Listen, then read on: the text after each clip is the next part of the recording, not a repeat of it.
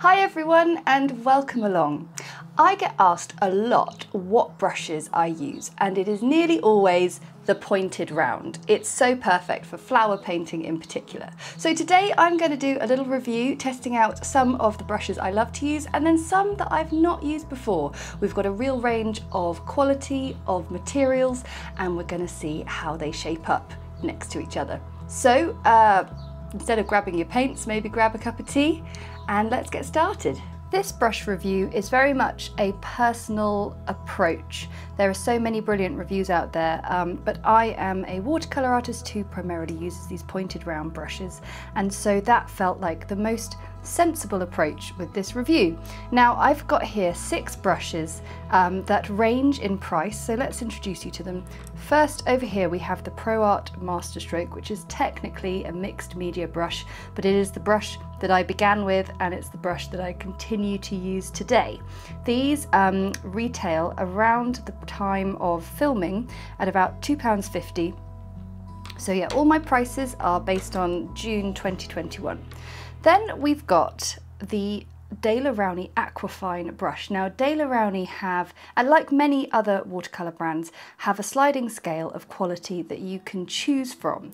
I've always told my students to buy the best you can afford, but today we're going to put that to the test and see if their Aquafine range, which is their more affordable range, stands up to the more valuable ranges. So we've got the Aquafine synthetic bristle round and then, oh this one by the way comes in at £3.24. Next to it, we've got an amazing um, achievement by Aquafine from Daler Rowney. This is a sable round, so they have got real sable bristles in their sort of affordable range. And this brush is £5.56. Then moving up, we've got a Winsor and Newton um, synthetic sable. So synthetic sable, those bristles, although they're synthetic, they're really, really trying to emanate the feel of a sable bristle.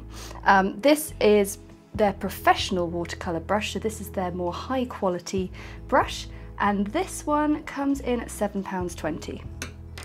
Then I'm very excited to have a look at these two because this is ProArt, so it's the same company that makes my beloved mixed media synthetic bristles, but they've done a Renaissance sable brush. So this is real sable bristles, and this brush comes in at £7.80. And then a little bit further up, I mean, this brush was so fancy, it came in its own presentation box. Winsor & Newton Series 7 Finest Sable Kolinsky watercolor brush. These are very, very special indeed. And the price reflects it. This was £21.56. All of these brushes, um, the, they're all pointed round, which means the aim is, is that they have a fairly sort of thick amount of bristles in the belly of the brush there, but that they can all form a nice point when wetted. Because of course right now they're all dry, they've all got quite tufty ends, but as soon as I put them in the water, we get a lovely pointed brush. So let's get on with some testing. The first test we're going to do is we are going to paint a tapered line with each brush. So first off, let's have a look. We get a nice fine point on the uh, synthetic ProArt Masterstroke range and I'm going to use cadmium red. So I'm getting a nice coating right on all the bristles there and I am just going to go straight in and paint a tapered line, so getting a fine point, squishing it out and ending with a nice fine point. Now that's really nice. I, I like the general sort of control I get of that. What we are seeing is a good amount of paint getting sort of covered on the bristles. I think it's only fair with a brand new dry brush to have two goes and that's looking even nicer the second time round. I'm really aware that there may be very few obvious differences between these brushes, but that's also just as useful to find out so that you know that you don't need to spend a huge amount of money. So now we're going to go for the next up in price, the Daler Rowney Aquafine. This has a feel of a slightly sort of longer, thicker set of bristles. But let's see if that results in the same type of brush stroke. You can see we get a broader line with these bristles, so that will be because there's just a slightly more there. It's got a really nice feel to it. And yeah, that's really quite nice as well. I feel like the handle is just a tiny bit thicker as well and I think just having a little bit more to hold on to is really nice. It's got a nice weight to it as well. Here we have the sable. Now the thing I'm expecting to see with the sable brushes is slightly less springiness and that's why I've always opted for the synthetic bristles in the past because I love the spring back of the synthetic bristle. But let's see, let's get it wet. Beautiful fine point.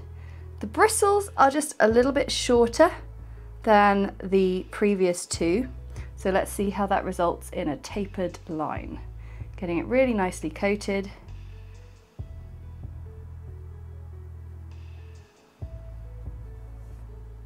Okay, didn't quite have enough to go for a full, full stroke. You can definitely feel the softness of the bristles resisting far less. And you can also see that even though these are all size 4 brushes, there is a smaller sort of splay of bristles when the brush goes out when it's pressed down. This Winsor & Newton brush is the only one that has a sort of contoured handle.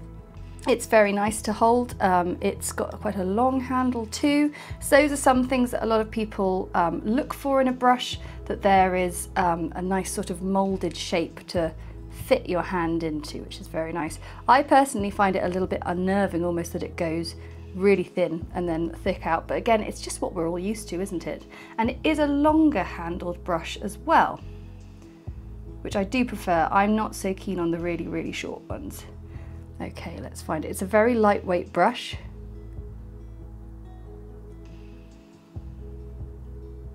But it does a beautifully smooth line. So we'll do a second one.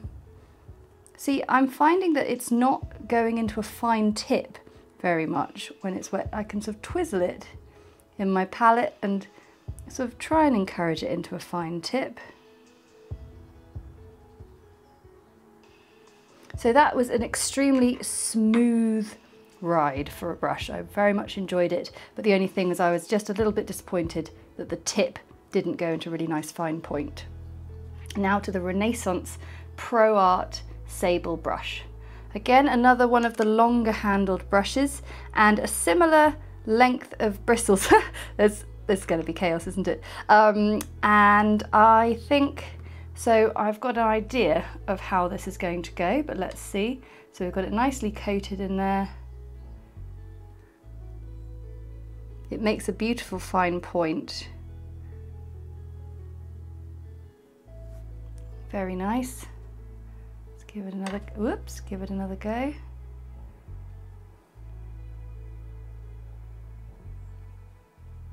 Oh, it managed to splay out really quite nice and broad there. That was impressive. And finally, the Kolinsky Winsor & Newton Finest Sable. So let's see the point. Yeah, it's just, just about getting into a nice fine point. It's got a, a larger amount of bristles. It feels like this is going to splay out really, really nicely, almost like a mop brush. But the challenge is, is whether we can get a fine tip, and I'm struggling to get a fine, fine point on this brush.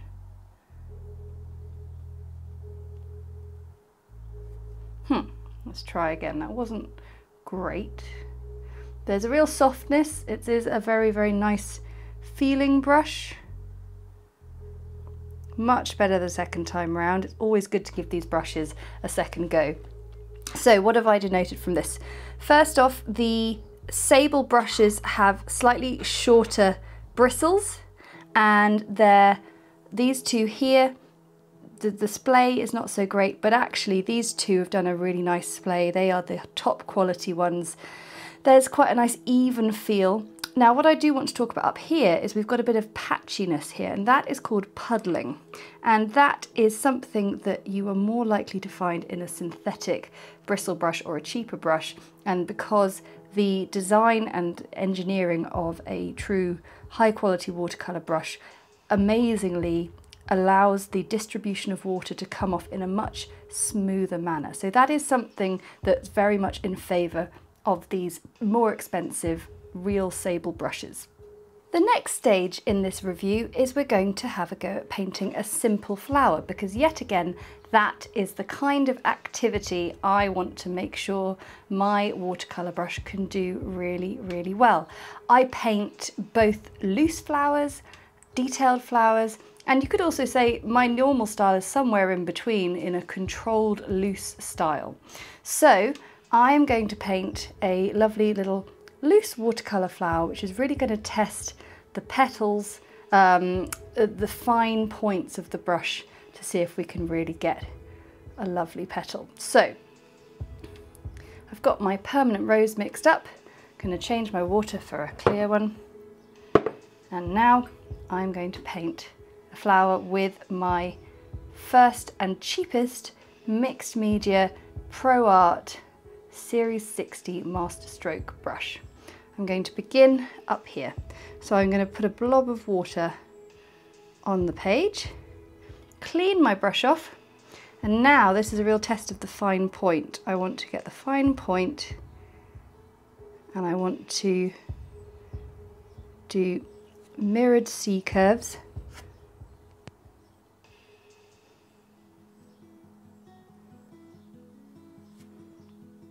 I'm cleaning off my brush each time.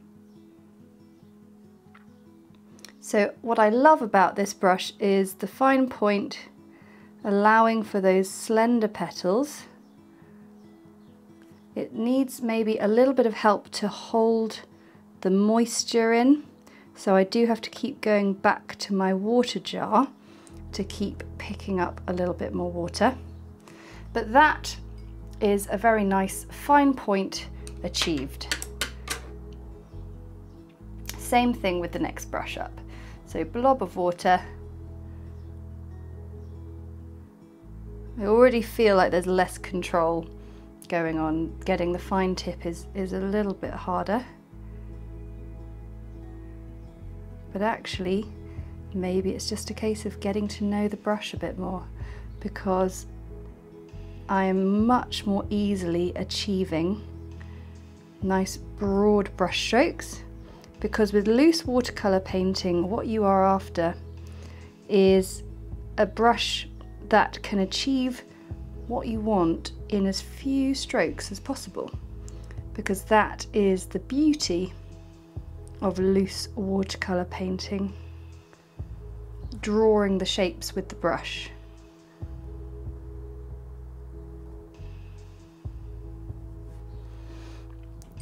Very nice. Now let's try the sable.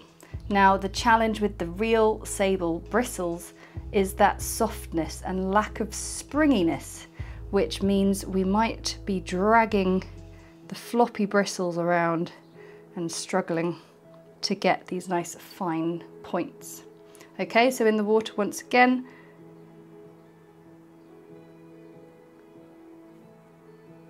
So once I've done that, I've noticed that it doesn't spring back into a fine point. So I'm just having to turn the brush around, but that effortlessly and very nicely fanned out. So as long as I'm careful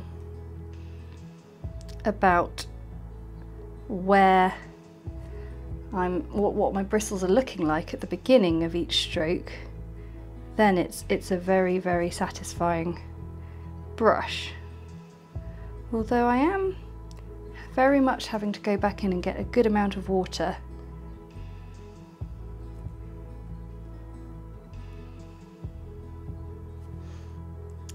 Yeah, it's certainly more labour intensive to get the brush strokes to create the petals uh, once the sort of the water starts to run dry a little bit. So there's a bit more effort involved with this sort of true sable brush from the uh, Daler Rowney Aquafine range, which I'm just still amazed they've they've created a sable brush really because that is an incredible achievement for a very um, much a range that's focused on affordability.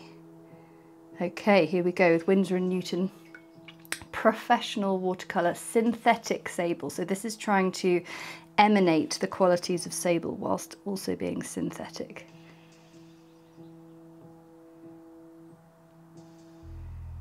Yeah, it doesn't fan out nearly as much as the sable.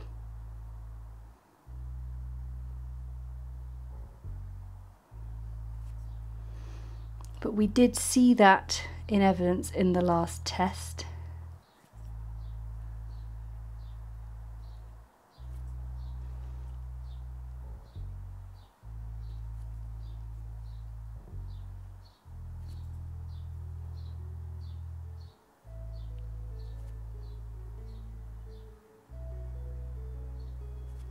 Not bad, it doesn't fan out as much and it's just that slightly softer brush because it is trying to be sable. So it, it makes a nice fine point though. Here we go onto the ProArt Renaissance. Let's drop a nice blob on the page. Okay, clean that brush off and start with a fine tip. Hmm, it doesn't sort of want to spring back into place these bristles. It's got a lovely softness to it, but it's just not quite precise enough for me. I'm having to keep on rotating the brush to find the closest thing to a fine point. But it did do a very sort of gentle job. It has a nice, nice feel to it, but maybe not for what I'm looking for, getting those nice fine lines. And finally to our real Sable Kolinsky Series 7, which felt really like a mop. I mean, that's, I'm struggling to get like a nice round dot there. Right, I'm trying very hard to get a fine point. But I also want there to be lots of water on the brush and it just doesn't want to do both of those things.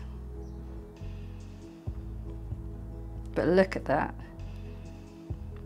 The way it just deposits the water in such a smooth way, but then just doesn't want to spring back to a fine point means that I would have to go back and tidy that up. And these brushes are all size 4 and I do appreciate that different brands and the way that clothes in different shops a size 8 might be slightly different for each shop but on the whole they're all saying they do the same thing. Um, so we can see the sable brushes, there's definitely a sort of drag and a lag, um, not wanting to spring back to that nice fine point. Whereas here we had our first synthetic brush trying to get nice broad strokes was actually a bit of a struggle. There's a sort of midpoint here with these ones that are just trying to sort of emanate the sable um, or are a affordable sable brand, which still blows my mind. Um, so yeah, quite an interesting finding there. The next test for these brushes is how versatile they are because rounded, I beg your pardon, pointed round brushes um, are sold largely on the fact that they're so good at doing both broad strokes and fine detail. So I'm going to now go back over my flowers and add in little bits of detail. So I've got my ProArt Master Stroke brush and what I want to do is paint as if this was a little anemone, I want to paint little fine lines from the centre, which this does very nicely. And I then want to do some little dots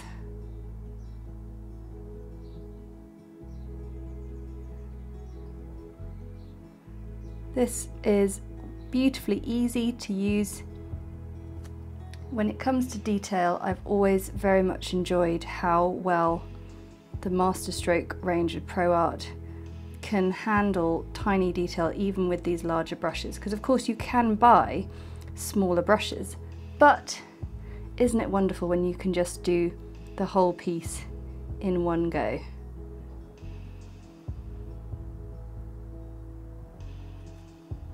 If you wanted to do a few little lines of detail, it flicks really nicely. That is an absolute joy for doing fine detail. Next we have got our Daler Rowney Aquafine round, which so far has been really doing quite well. Um, but let's see. So, fine lines. Yeah, definitely struggling to get the really fine point.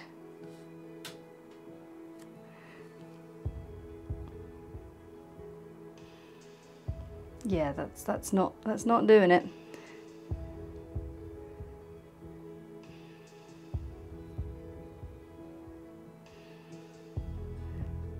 Okay, so we can safely say that the fine tip is just nothing like the Masterstroke Pro Art range. It does do some nice sweeps when you're able to get a bit more sort of length and fluidity on it, but not so good for the centre of the flower. Then we've got Daler Rowney Aquafine Sable. It looks like it's got a fair, um, fairly good point, but oh no. And I honestly, I am trying my hardest just use the finest tip. But the trouble is, is you want to also have control. And if you are just trying your hardest to only get the finest tip touching the paper, you're also then relinquishing control of the brush. And you need to have that particularly when you're painting detailed things. See again, if I'm just, if I'm not worried about control, I can get a really nice sort of thin flick on it. But again, it's that being able to do it in a slightly measured manner that just is not happening with these brushes. Next we have Winsor & Newton Synthetic Sable. I've got I've got highish hopes for this.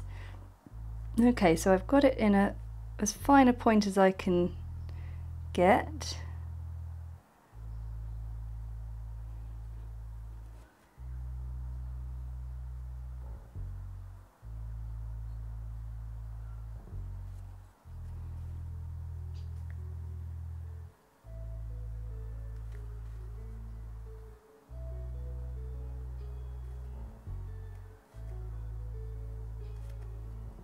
It's not bad. I'd say it's in second place, but not a close second, just a fairly lagging behind with third and fourth at the moment.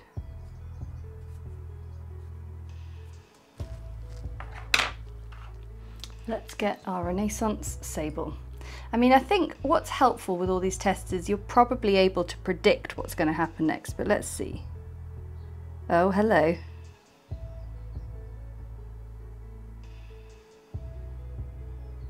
That is not bad. But the trouble is the softness of the bristles. Anytime I press down, it allows me to sort of squish the bristles out and that's not really what I want.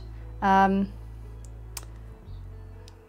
yeah, and it's just not quite as sharp as its synthetic counterpoint.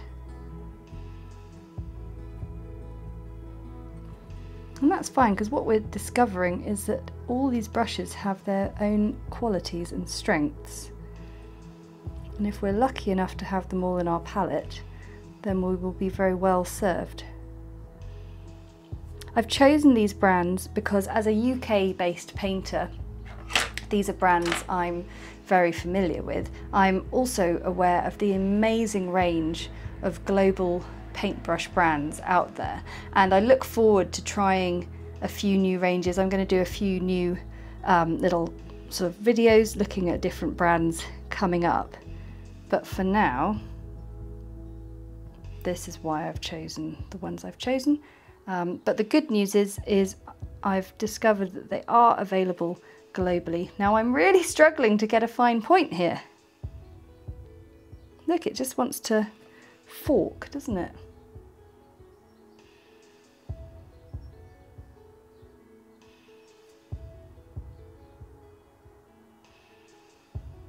Again, the, the bristles, I mean, I am getting fine lines, but I'm not feeling any kind of control with them.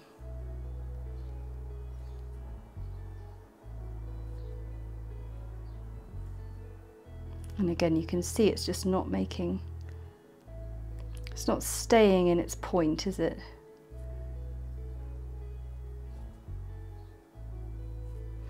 And also the sort of using the dabbing dots is almost splaying the bristles out.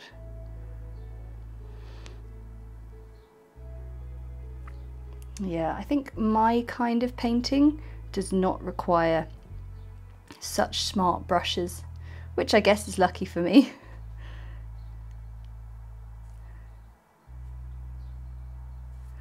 And I, you know, I've got to stress that this test is very much a sort of personal look at what I use my brushes for.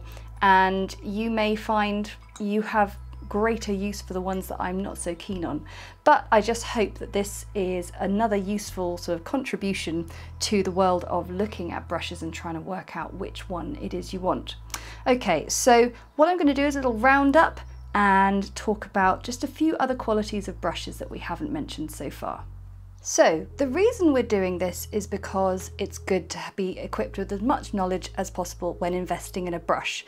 But the investment in that brush goes on after buying it into the use of it. And I'm talking about longevity of brushes and how we look after them. So here are a few interesting points. The first thing is the brushes that have a wooden handle. If they are left languishing in a jar of water. So this sort of dreaded sight. It really um, makes me feel so sad when I see this. Um, brushes should not be left like that ever because apart from giving the bristles a bit of a hard time, the main thing is, is this paint on a wooden handle will crack and split and fall off and become very uncomfortable and itchy to hold. So that's something to think about. You know, you could spend all the money in the world on a brush, but if you treat it badly, it is going to, yeah, it's not going to be a sound investment. So uh, some brush manufacturers have tackled this by bringing out brushes that are not wooden and do not have the paint on them. This is a plastic coated brush, so it's not going to chip off in a jar of water. So if you're the kind of person who just goes, I'm afraid I leave them in the jar of water, I can't do anything about it, then why not consider something like this with a plastic handle? The other thing, of course, to mention is that sable bristles are an animal product, and if you are uh, keen to have brushes that have no animal involvement at all, then of course the synthetic bristle is your best option. And then the last thing for me to say is that different brushes have different strengths and different purposes. So I'm not going to uh, badmouth any of these brushes because I found they all had their own strengths. But let's have a little look. So the sable brushes, the really sort of high end two, were by far the best at splaying their bristles and making a really lovely, broad, well distributed brushstroke. However, they both struggled to sort of spring back into that fine point. So it would just mean that you were having to do a few more brush strokes to really sort of tidy those up. But they're soft, they are supple, but not as springy as synthetic bristles, but they do cover just that little bit more of the page. And as far as I'm aware, as I've been told, they tend to last longer than synthetic bristles, but I do think a lot of that is down to how you treat your brushes. And then we've got our amazing sable brush from the affordable Aquafine range. I think it did a really fantastic job and it's a wonderful brush to have as part of your collection and how wonderful that you can have one uh, at such an affordable price. But then we've got our synthetic brushes. I mean, the razor sharp points that we're getting from the Aquafine round and the Pro Art Masterstroke um, says it all the Pro Art Masterstroke was by far the best at the fine detail, even in this size 4 range, so you can imagine why I love to use them in all sizes going right down to sort of 10 tenths of a zero. And then in between we had this professional watercolour synthetic sable, so a synthetic bristle that was very much trying to become a sable brush. Well, I think it did a lovely job. It was sort of somewhere in between. It wasn't the best at anything, but it certainly wasn't the worst. It sprang back a little bit better than the sable bristles, but it didn't give us the fine detail that we were looking for of the synthetic brush like Masterstroke. So what I will round up with and saying, these are all very, very worthy brushes to have in your kit. There's a real range of quality here. What I will say is as I'm talking, you can see this one here the sable round, we're getting a few wayward hairs just splitting off from the bristles. And if that's happened after first use, maybe the Daler Rowney Aquafine uh, affordable sable, maybe it's a little too good to be true, but at only £5.56 for a sable brush, you're well worth trying it. Thanks so much for watching guys, and I really hope that was helpful. Thanks so much for watching. I really hope you found that helpful. And just remember, some of the best paintings in history were painted with a few hairs on the end of a stick. So it's not all about having the best kit every time. It's about enjoying the process. So I want to say a massive thank you to my patrons for their support because that support enables me to keep creating these videos that you can enjoy. And if you enjoyed this one, then hit the like button and let me know how you found those reviews below. And of course, if you subscribe, then you'll never miss another video. Okay, until next time, bye!